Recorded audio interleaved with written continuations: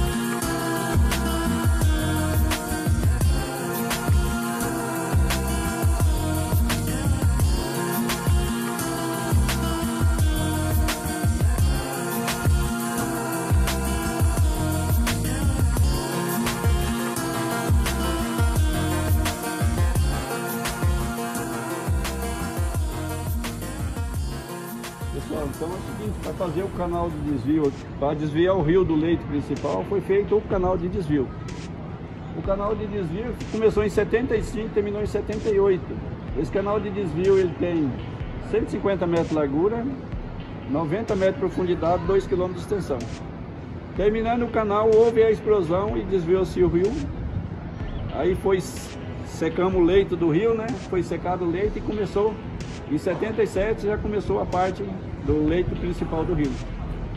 Começando no principal do rio, aí começou uma média de 40 mil homens dias. Esse foi de 78 a 82, foi, que foi levantada a barragem principal. A barragem principal levou 16 anos, né? mas o, o grosso da obra mesmo ficou de 78 a 82. Então a obra em si, ela ficou no pico normal 196 metros né, de altura. Na parte de represa com a água do, do lado de cima da represa, é 170 metros de profundidade. Tem 170 km de extensão, né? Tem 135 km, mil quilômetros quadrados. Vamos fazer a comparação de hoje. Se fosse dividir água para a população do planeta inteiro por litro, seria equivalente a 4 mil litros de água por pessoa do planeta todo. E continuando aqui, a, cada máquina ela gera energia a 20 metros abaixo da superfície. A água está saindo a 30. E, e tem uma, um desnível da, barra, da ponta da barragem em cima e embaixo de 120 metros. Por isso que se tornou a maior barragem do mundo. Por quê? Porque que dá aquela velocidade máxima da água de 140 a 160 km por hora. Né? E pessoal, lá para parar e fazer a manutenção das máquinas, que é parada duas vezes por ano, vocês estão vendo essa água saindo aí? A gente usa aqueles pinos lá em cima, né? Que são os pinos hidráulicos. Cada pino daquele vai 7 mil litros de óleo. Quando é acionado aqueles pinos para parar a máquina, ela é, ela é uma comporta de 319 toneladas. Ou para subir, ou para abrir, ou para fechar, né? E em termos de geração, pessoal, aqui as 10 primeiras máquinas é, gera energia a 60 Hz. Aí vai nesse linhão para Furnas e as 10 máquinas Paraguai gera 50 Hz. E vai para o linhão lá do Paraguai.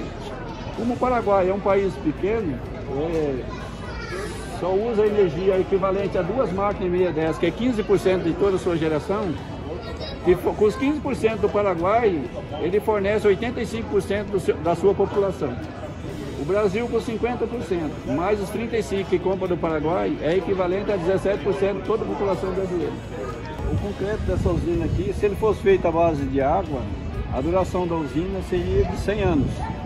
Como ele foi feito à base de gelo escama, que a gente tinha duas fábricas de gelo, como ele foi feito à base de gelo escama, o concreto saía, saía daqui a 5 graus para chegar a 7 graus na, na montante. Por que foi feito assim? Porque a, esse concreto, para dar a durabilidade que essa usina tem, de 300 anos, que é a vida útil da usina, esse, esse concreto ele gela de dentro para fora. E o que você faz com água, ele gela de fora para dentro. Isso, pessoal, também eu, eu entrei aqui, eu tinha acabado de completar 18 anos. Eu fichei aqui em 1977, 27 de março de 1977. Trabalhei até 86, depois fui transferido do setor de obra para o setor de, do restaurante, para atender a diretoria, fiquei atendendo. Aí me aposentei e voltei como é, monitor barrageiros. Maravilha. Tá joia? joia. Muito obrigado. Galera, como vocês viram, olha onde a gente está. Que lugar maravilhoso.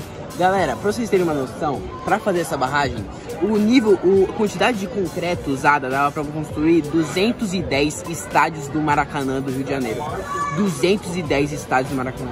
Mano, é impressionante, é muita coisa que usaram para fazer isso. Galera, outra coisa muito legal também, o quanto de ferro eles usaram para construir isso daí, dá para fazer 380 torres Eiffel. 380, velho, mano, é muita coisa. Na época que eles fizeram isso, foi tipo sensacional, a, a, tipo uma construção tipo inimaginável de se construir. Então, galera, esse foi o vídeo, mano, entrevista sensacional. Se você gostou, deixa o like para ajudar, mano. Olha o que a gente proporcionou aqui pro canal. Deixa o like, se inscreve no canal para não perder nenhum vídeo e pra gente chegar logo em 10 mil inscritos. Então, tamo junto, é nóis. Acompanhe todos os vídeos da viagem que a gente tá viajando. A gente veio pra cá de moto, lá de Santos, galera. De moto, na verdade, de São Vicente, né, do lado de Santos. A gente veio de moto, então vamos fazer essa viagem muito louca. Então, confere os outros vídeos da viagem e essa entrevista ficou sensacional. Um beijão pra vocês, é nóis, valeu.